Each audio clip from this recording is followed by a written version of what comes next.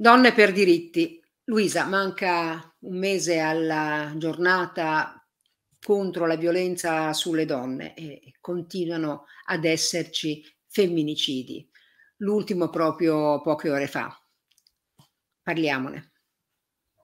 Eh, parliamone, diciamo, non dico sempre le stesse cose, però insomma ogni volta ritrovarsi davanti a una notizia del genere, una notizia trattata in cronaca nera, in cui si ripetono sempre gli stessi stereotipi, cioè appunto lui l'ha uccisa perché l'amava, lui l'ha uccisa perché lei si era separata da lui, lui l'ha uccisa perché eh, lei se n'era andata, perché aveva una storia con un altro, ci sembra insomma un po' eccessivo. A un mese dalla um, giornata internazionale contro la violenza eh, sulle donne, ma soprattutto dopo ormai anni in cui cerchiamo di spiegare che la narrazione del femminicidio deve essere fatto in maniera corretta perché è una forma di prevenzione della violenza stessa, del femminicidio, perché è importante quando si raccontano certi fatti aderire alla realtà, ecco ci sembra insomma un po' ormai stancante, lo dico sinceramente perché appunto con tutta la formazione che comunque l'ordine fa, io stessa mi occupo della formazione dell'ordine dei giornalisti del Lazio come commissione pari opportunità, su questi temi ci sembra insomma un po' eccessivo, eh, anche perché si rimanda un'idea completamente alterata e quasi giustificatoria. Eh, quando una donna si dice appunto viene uccisa in quanto donna, significa una cosa ben precisa, la parola femminicidio ha un significato ben preciso. Eh, non possiamo distorcere quel significato stesso. Cosa significa? Un omicidio eh, che diventa femminicidio è appunto oh, dettato da un movente che non è la gelosia, che non è la passione, che non è il culmine di una litigata, ma appunto da una relazione che è un tipo di relazione violenta, si chiama violenza all'interno dei rapporti intimi.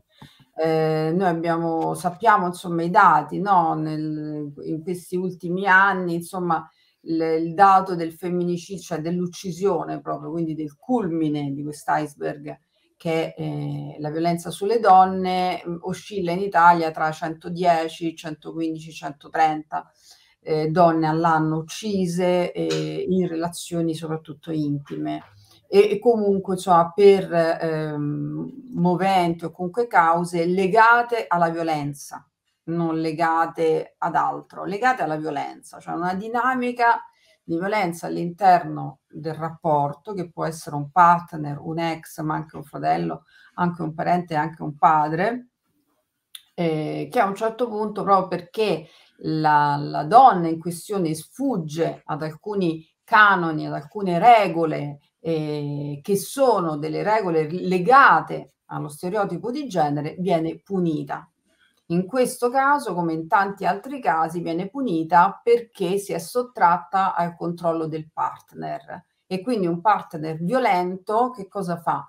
Se tu ti sottrai al suo controllo, quindi c'è una forma di possesso, non di gelosia, che sono due cose ben diverse, eh, pone fine alla tua vita perché tu sei solo sua e devi rimanere sua.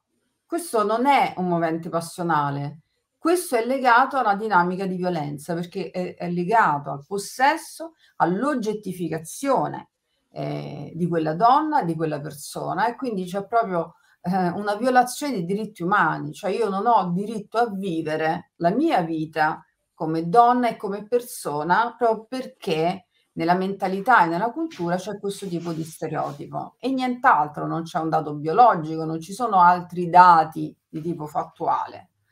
All'interno diciamo, dei femminicidi noi abbiamo visto insomma, con i dati anche alla mano che in una situazione di diminuzione degli omicidi in generale, il discorso invece dei femminicidi oscilla, comunque insomma in aumento, si può oscillare di poco, però in relazione agli omicidi totali i femminicidi sono sempre di più.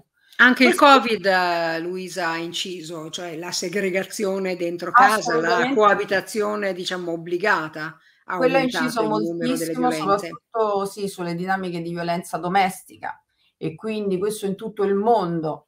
Eh, ci sono stati luoghi in cui la violenza è, è aumentata addirittura del 100%, 200%, insomma è aumentata in, in, tutti i paesi, in Europa, negli Stati Uniti, in America Latina, in Asia, eh, in Africa anche moltissimo, perché all'interno di una dinamica del genere stare chiusi in casa ovviamente eh, significa eh, essere soggetti a una maggiore eh, esposizione della violenza stessa. Quindi anche questo è eh, un fattore importante, la pandemia è stato un fattore importante.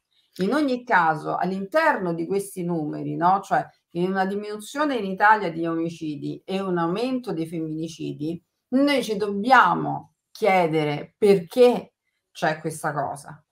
Per come, come mai, mai, non si torna mai indietro? Diciamo, esatto. sembra che il fenomeno non accenni mai a diminuire, nonostante la sensibilizzazione, nonostante la consapevolezza che comunque aumenta in ogni caso anche delle stesse donne, insomma, perché siamo sempre allo stesso punto. Esattamente. Allora, principalmente una delle cause che noi possiamo vedere è una causa immediata, cioè noi parliamo sempre, parliamo di femminicidi, eccetera, ma tutto quello che siamo riuscite anche ad ottenere, anche come insomma l'attiv- anche l'attivismo femminista è riuscito a ottenere rispetto a una tutela maggiore delle donne e dei diritti delle donne, alla fine non vengono pl- applicate. Noi abbiamo import- un importante strumento che è la Convenzione di Istanbul, che non ci stanchiamo mai di citare, che è una convenzione internazionale per il contrasto alla violenza su ragazze, donne, ragazze e bambine, mh, completa tutto, ci sono anche i matrimoni forzati dentro, fatta molto bene, da noi è legge, ma non viene applicata, non viene implementata all'interno del nostro codice, addirittura ci sono giudici che neanche la riconoscono e quindi quando l'avvocato si eh, rifà alla Convenzione di, di, di, Istanbul addirittura viene, viene recusata come eh, aggancio. No? E questa cosa è assolutamente eh, insopportabile direi ormai e questo è dato mh, soprattutto dall'assenza di una formazione seria di giudici che eh, si occupano uh, di questi eh, casi, di, di casi di, di, violenza. No? In Spagna c'è eh, il, il, tribunale proprio ehm, specifico per, per, questo tipo di reati, invece qui eh, no, mm, la soluzione sembra potrebbe essere quella del Tribunale della Famiglia, ma non, non c'entra assolutamente niente. Fatto sta che l'indagine che ha fatto la Commissione Femminicidio mm. presieduta dalla eh, senatrice Valeria Valente quest'estate ha messo in luce alcuni dati importanti di cui si è parlato molto poco, dove eh, all'interno dei tribunali eh, la procuratrice Monteleone e la Laura Sabatini dell'Istat hanno evidenziato che c'è un'invisibilità della violenza, soprattutto la violenza domestica, perché ricordiamoci la violenza sulle donne, l'80% è violenza domestica, non solo in Italia, ovunque. La violenza domestica è ovunque, anche nei paesi dove comunque le donne sono più emancipate, nel nord Europa, dove appunto ci sono dei governi a maggioranza anche femminile. Non basta, perché la violenza domestica c'è anche lì. Allora, di fronte a un fenomeno così, il tribunale non può avere un'invisibilità totale nel momento in cui va a giudicare situazioni di conflittualità che invece sono situazioni di violenza all'interno di separazioni, perché poi è lì il nodo, no? Perché si dice lei si voleva separare? Ma quella si vuole separare perché il partner è violento. Allora tu indaga questo prima di scrivere in ogni caso, anche quando eh, si è in tribunale, il tribunale deve saper riconoscere se c'è una situazione di violenza domestica e non scambiarla per conflittualità, mm. non dare l'affido condiviso nel caso ci sia un partner violento e soprattutto non dare la colpa alle donne, perché mm. gli uomini violenti sono ovunque, un uomo può anche cambiare a un certo punto e diventare es- mh, possessivo, controllante e tu non te ne sei accorta perché comunque insomma eh, lui all'inizio si poneva in maniera diversa, poi ti sei ritrovata con i figli e non hai voluto mettere in discussione un matrimonio e ti sei beccata anni di violenza domestica. Insomma, questo è facile da capire. Però se non viene riconosciuta nei tribunali, nelle procure viene riconosciuta, ma ancora il 20-30% perché non ci sono ma- magistrati, un po' a macchia di leopardo questa situazione in Italia, mh, mm, non ci sono ma- magistrati preparati su questo, per esempio a Roma ci sono eh, la Monteleone appunto a capo del team antiviolenza, ma non dappertutto c'è. Allora, quando c'è questo problema nei tribunali si capisce che il lavoro diventa più difficile. Luisa, eh, ma tu dicevi che una parte di responsabilità è anche eh, di noi giornalisti che veicoliamo male i messaggi. Eh, non a caso stai facendo corsi su corsi di deontologia professionale in materia, però molto spesso, insomma, anche chi dovrebbe trasmettere un messaggio, trasmettere un'informazione, non lo fa nella maniera corretta, per cui ritorna il tema, come dicevi, del eh, si era separata, se n'era andata e quindi lui eh, non si rassegnava, insomma, anche abbiamo visto l'ultimo caso di queste ore che rientra in questa casistica.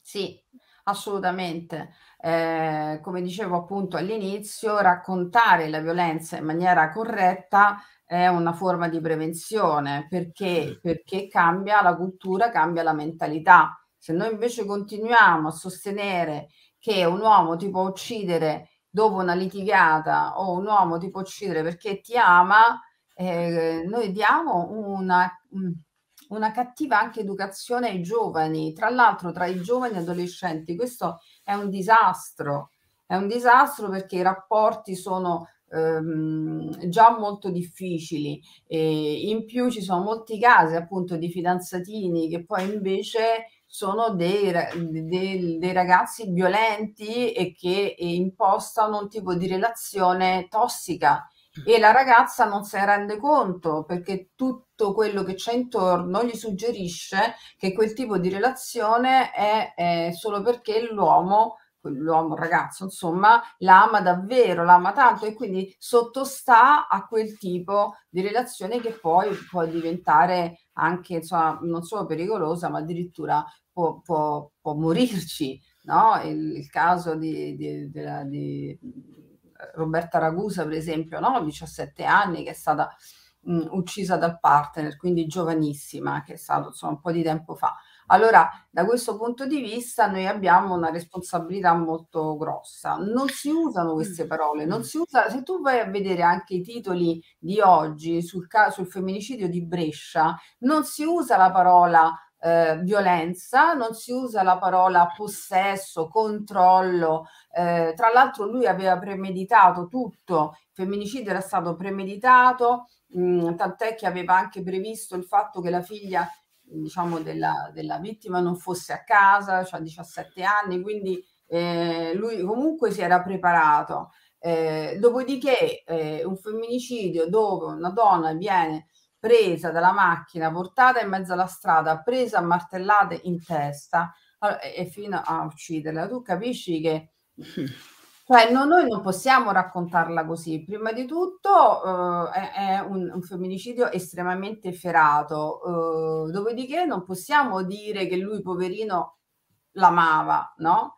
Cioè, qui è stato riportato, lui dice, c'erano dei sentimenti, ma il sentimento era un sentimento di violenza, non era un sentimento d'amore. Allora, anche quando noi riportiamo le parole del, dell'autore del femminicidio, dobbiamo contestualizzarle. Quando noi raccontiamo questa realtà, noi dobbiamo essere più fedeli alla realtà, cioè senza farci film, mm. ah, perché lui, no, cioè senza romanzare, e nello stesso tempo anche contestualizzare, andare a indagare alcune cose rispetto ad altre, non diciamo, mettere tutto nel calderone, no? Infatti si parlava esempio, durante un, una formazione nelle Marche con eh, il presidente dell'Ordine delle Marche, eh, Franco Elisei, eh, sul discorso di preparare anche i giornalisti a intervistare una sopravvissuta o anche un offender. Come si fa?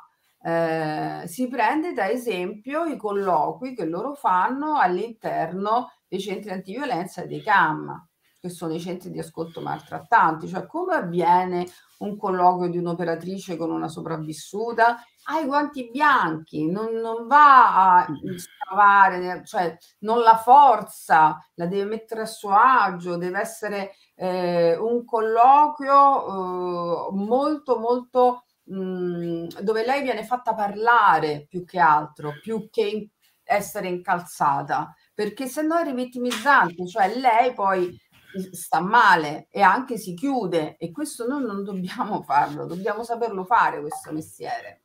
Certo, ascolta, a proposito di mestiere, ecco, sconvolgente anche il negazionismo del femminicidio. Insomma, c'è stato un caso eh, che ha fatto scuola, ecco, quello del giornalista Vittorio Feltri, a proposito del, del caso eh, genovese. Ecco, vogliamo ricordare anche questo, questo caso.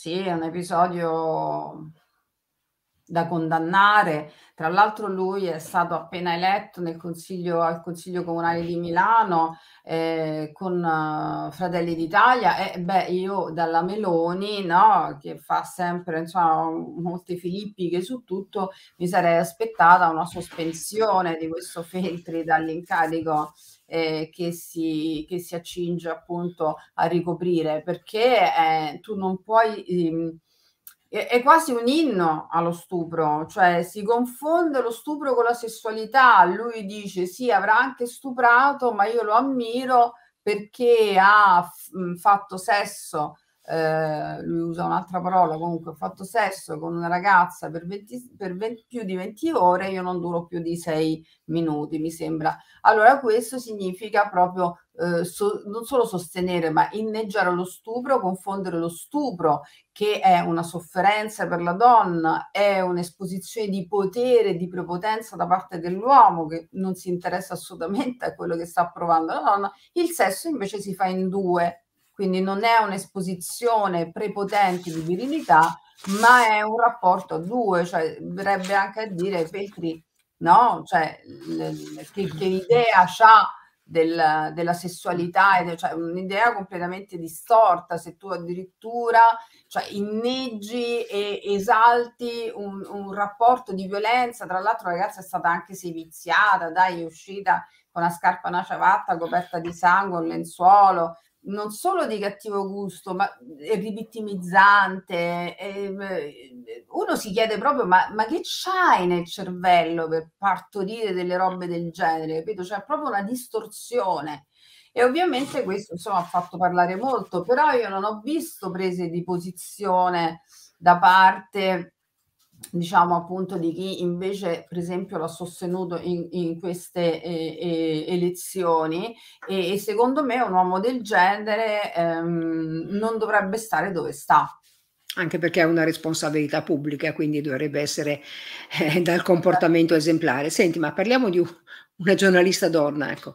Eh, penso a Barbara Palombelli che a Forum è tornata sulla responsabilità delle donne che subiscono violenza. Ecco, già in precedenza c'erano stati dei suoi pronunciamenti con successive eh, smentite eh, sul perché poi un uomo arriva ad avere determinate reazioni nei confronti eh, di una donna. Insomma, eh, ha fatto qualcosa, non ha fatto qualcosa? Eh, secondo te? perché ancora diciamo ci sono colleghe donne che parlano di responsabilità femminile nei casi di violenza. Beh, questo è, è altamente rivittimizzante. Tra, tra, l'altro, Barbara Palombelli era già stata segnalata al Consiglio di disciplina per appunto la frase infelice che eh, dieci giorni fa aveva espresso pubblicamente nella sua trasmissione eh, dove appunto parlava della responsabilità delle donne eh, rispetto alla violenza. Quindi diceva eh, che non, non bisogna solo vedere le responsabilità dell'uomo, ma anche se quell'uomo era stato portato all'esasperazione. Ecco, il caso di oggi del femminicidio di Brescia è proprio quel, il contrario di quello che diciamo noi. Tra l'altro, cioè adesso c'è anche un articolo che è il 5 bis che fa parte del nostro codice deontologico, quindi queste robe qua sono punibili dall'ordine, cioè sono disciplinate. Noi abbiamo lottato per quell'articolo 5 bis in cui appunto si, ehm, si chiarisce come il femminicidio, la violenza sulle donne, il rispetto del genere eh, devono essere eh, in qualche modo insomma, espresse da chi fa il giornalista, lei è co- come Feltre completamente fuori dal seminato rispetto a questo articolo, perché è come dire che appunto l'ex che oggi ha ucciso eh, la povera Elena eh, in realtà era esasperato, era esasperato perché lei lo aveva lasciato, perché lui stava male, cioè voglio dire, non è che la gente viene lasciata e, e, e allora ammazza perché se noi dovessimo applicare questo ragionamento come un ragionamento logico, sarebbe, mezza popolazione sarebbe qua, morta, perché quanta gente che si lascia, allora siccome tu mi lasci, io ti amo ancora, venga a casa tua e ti ammazzo. Che ragionamento è?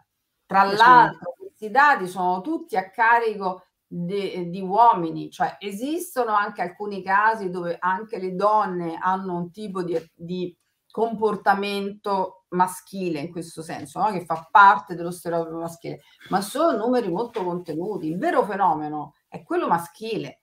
E noi parliamo sempre di donne che vengono uccise, ma gli uomini invece che responsabilità hanno? Quindi questa tendenza a deresponsabilizzare gli uomini, a deresponsabilizzare l'offender, che poi porta anche a una situazione di impunità perché dice lui ha avuto delle cause che sono interiori, eccetera, ehm, porta a eh, il perpetrarsi di questa situazione, quindi poi è inutile piangere.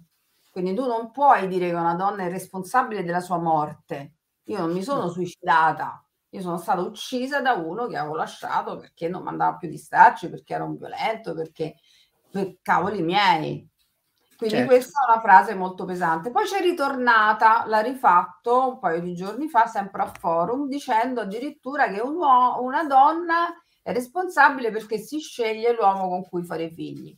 Ah, questa è una cosa che non si può sentire. Prima di tutto non è sempre così, i figli nascono in tanti modi, ma poi io non mi posso prendere sul groppone una, una, responsabilità di una violenza che subisco, eh, di cui poi è difficile denunciare e tutto quanto. Quindi tu, giornalista, lei tra l'altro partecipa, ha partecipato a tante cose, convegni sulle violenze, eccetera, eccetera, mm, mm, da lei non, non, non ce l'aspettiamo e non ce l'aspettiamo in maniera reiterata, quindi eh, secondo me è molto grave. Certo. Ascolta, mm, eh, Luisa, ehm, il tuo network, parliamo anche eh, di donne per diritti, ecco, ha pubblicato proprio eh, recentemente un'inchiesta sulle molestie nell'ambiente militare, dove esiste eh, un codice molto antico, una legge molto antica. Ecco, e qui parliamo delle forze armate italiane. Ecco, vuoi entrare nel merito di, questa, di questo articolo, insomma, che offre spunti molto interessanti, insomma, su cui riflettere. Sì, l'inchiesta di Giulia Bosetti, una giornalista appunto di presa diretta che è all'interno del, di Donne per Diritti, appunto che è un giornale online praticamente. Che tu che dirigi. Ha fatto questa, questa inchiesta e che è andata proprio a vedere che cosa succede in quell'ambiente lì, che cioè se noi parliamo di cultura maschilista, in generale lì abbiamo proprio la, l'apoteosi, la quintessenza, perché comunque l'ambiente militare di per sé è per, maschilista per antonomasia e c'è un codice militare che ferma al 1941, quindi questi casi quando vengono denunciati vengono trattati con uh, gli strumenti che in qualche modo noi diamo in teoria del tutto obsoleti, insomma, pensiamo siano, siano obsoleti. La cosa più grave è che, eh, che ha riportato insomma, Galla con dei casi specifici, specifici che sono all'interno dell'articolo di donne che hanno denunciato delle violenze all'interno degli abusi all'interno da parte di colleghi all'interno delle forze armate non solo non vengono giudicati in maniera, diciamo così, eh, corretta, diciamo così, eh, ma le donne vengono rivittimizzate anche a livello pesante. Quindi, appunto, come diciamo, palombelli, no? Perché non si dice che la responsabilità è delle donne? Proprio perché poi le rivittimizzi e quindi mh, vengono discriminate perché hanno denunciato Ecco perché poi le donne non denunciano. Allora, se tu hai un 90% di sommerso in Italia, tu non puoi dire che la responsabilità è delle donne, perché le donne non denunciano più e se non denunciano più, quel sommerso non verrà mai fuori e si continua. E ogni tanto ci sarà anche una donna morta, ogni tanto. In Italia ce n'è una ogni tre giorni. Quindi Mhmm, diciamo questo è un, è un fatto importante. Poi ci sono dei luoghi in cui questo diventa anche più pesante. Infatti l'altro articolo, oltre a quello appunto di Giulia Bosetti, c'è anche una, una piccola inchiesta eh, in cui eh, si va a vedere quello che succede negli Stati Uniti. E negli sì. Stati Uniti è molto molto pesante la situazione. Ci sono stati dei casi di femminicidi efferati, c'è stata una ragazza che è stata stuprata, uccisa e poi smembrata col macete per far eh, il corpo, per, per insomma occultare il mm. corpo, i resti sono stati trovati e lì c'era appunto una ragazza che era stata molestata varie volte anche da questo eh, suo collega e che alla fine è morta proprio anche perché non ha denunciato. Quindi lui l'ha uccisa. Sì, sì, nella civilissima America accade anche questo, insomma, quindi tenia- teniamone conto. Comunque 90% di sommerso è veramente tanto, eh? Cioè sì. praticamente, quindi insomma, è un, è un numero che fa, che fa, molto riflettere. Senti, ehm, parliamo anche delle donne afghane, è un argomento che ovviamente non possiamo tralasciare, una donna eh, sportiva, proprio anche questa è notizia delle ultime, delle ultime ore, dunque è stata decapitata una, una sportiva afghana perché evidentemente il suo comportamento non era in linea con uh, il nuovo corso di questo paese, insomma, con uh, la linea talebana. Ecco, quindi l'Afghanistan è comunque sempre al centro, insomma, del tuo network. Quindi... Sì, noi abbiamo deciso di pubblicare almeno un articolo a settimana, che noi siamo un settimanale, c'è sempre un articolo sull'Afghanistan, cioè questa settimana eh, sulla chiusura di centri antiviolenza, perché i talebani stanno chiudendo centri antiviolenza perché sono catalogati praticamente come bordelli mm. e quindi molte ragazze che donne che si erano rifugiate nei centri antiviolenza vengono rispedite dalle famiglie da dove sono fuggite perché c'è mh, timore appunto per le loro vite. Solo alcuni sono rimasti aperti con poche ospiti dentro, e, però sono sempre in pericolo, possono essere chiusi e possono essere le, le donne presenti giustiziate, come appunto è successo a questa pallavolista, una pallavolista di 18 anni, eh. è stata decapitata perché lei si è rifiutata di lasciare la pallavolo. In Afghanistan, quando appunto sono entrati i talebani a agosto, molte sportive si sono nascoste, si sono date perché c'è pericolo di vita perché appunto lì non, le ragazze non possono studiare, tantomeno lo sport, quindi c'è un vero e proprio regime, quindi il femminicidio è lì all'ordine del giorno. Anche questo è un femminicidio. Il femminicidio non è solo nella sfera privata, ma anche nella sfera pubblica e anche statale, cioè lo Stato che si macchia di femminicidio, eh, che non protegge oppure addirittura punisce le donne. Eh, lei è stata decapitata perché eh, non, non, si è allontanata da casa sua, è rimasta a casa sua, è rimasta con la sua famiglia e si è rifiutata di abbandonare la pallavolo. E quindi è stata uccisa e la famiglia è stata minacciata al silenzio. Poi questa notizia è uscita e quindi è stata insomma riportata da un giornale indiano, è stata riportata a livello internazionale. Ma femminicidi di questo genere eh, in questo momento con l'occupazione talebana sono all'ordine del giorno, cioè è un pericolo continuo. E quindi, e quindi è giusto occuparsene ed è giusto occuparsene con, con continuità. Eh, diciamo a livello redazionale, insomma, il, il, network che tu dirigi, Donne per diritti, ecco, che cosa ha in cantiere? Insomma, noi faremo il punto eh, ogni mese con te su quelle che sono le tematiche eh, di attualità, insomma, della, dell'universo femminile per dare voce alle donne. Ecco, ehm, in cantiere, in preparazione, che cosa c'è? Guarda, ti posso dire, una cosa piccola e una cosa grande. Allora, la cosa piccola ma importante è che, ehm, venerdì prossimo, venerdì non questo, ve venerdì 29, ricominciamo le nostre dirette sulla nostra pagina Facebook di Donne per Diritti con, ehm, una diretta su speciale elezioni, cioè ci chiederemo Mh. dove stanno le donne, perché tutti i sindaci sono uomini e quindi, ehm, questa cosa invece è una cosa più, uhm, importante, an i primi di novembre usciremo con una inchiesta proprio su questo, sulla violenza domestica non riconosciuta all'interno dei tribunali civili e quindi che cosa succede, ehm, quando c'è una dinamica di violenza domestica non riconosciuta e il tribunale re responsabilizza la donna e toglie addirittura i bambini alla donna per affidarli al genitore abusante oppure per metterli in casa famiglia. Okay. Quindi ci Un occupiamo di grandissimo tema questo appunto del dell'affido Sì. dei minori, insomma, in caso di di di contrasti e di di violenza e di rapporti di questo tipo. In Senti questo momento guarda il nodo, eh, perché la violenza si sviluppa tutta là, si sviluppa in ambito domestico. È Certo. difficile che siano da sconosciuti, è molto più contenuta la cosa. E noi che di Amdil, insomma che, ehm, Radio Amdil Network facciamo con te, da questo momento in poi il punto ogni ultimo lunedì del mese, ecco, mhmm, di che cosa ci occuperemo il il prossimo mese? Già hai dato alcuni spunti che il tuo giornale affronterà, ma insomma di che cosa vogliamo parlare? Su cosa ci concentreremo?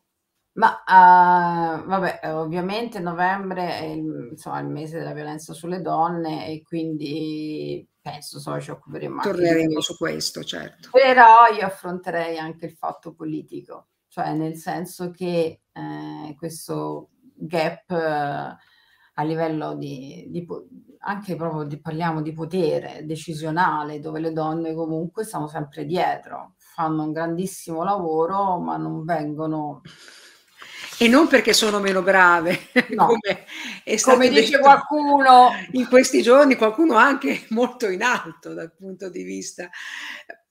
Ci potrà anche essere forse qualcuna meno brava, per carità, legge però non può essere un principio questo di che, mhmm, così insomma di e diventa discriminante, no, cioè le Eh, e quindi insomma penso che prima di pronunciare frasi di questo genere, insomma, bisogna un attimo riflettere. Ecco, perché però vabbè, insomma, adesso non non non anticipiamo niente, ecco, riflettiamo su questo su questo grande tema che è quello, insomma, della, ehm, differenza anche che viene de delle discriminazioni che le donne subiscono sul lavoro e anche sulle retribuzioni e anche sul sui ruoli insomma, del perché e Certo. del per come. Quindi diciamo che, ehm, abbiamo un un mese davanti per per riflettere, però ecco lanciamo già il così il il il sasso per poi diciamo così applicare per per animare un po' insomma il il nostro dibattito e vediamo un po' in questo mese come come evolve insomma la situazione.